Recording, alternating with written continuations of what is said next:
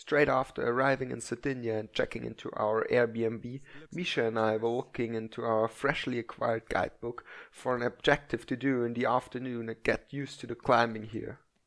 After a grueling approach in the midday heat, the weather gods gifted us with a massive cloud and a fresh breeze which allowed for more than pleasant climbing conditions. The route we picked was Non Potho Reposare on Nieddu, right above our house. And oh boy, what a route we picked. The quality of the climbing was absolutely stunning and among the best that we did in this grade. Albeit a bit crassy, every single hold was absolutely solid and it was a pure pleasure to climb those compact limestone slabs with perfectly shaped cracks on them.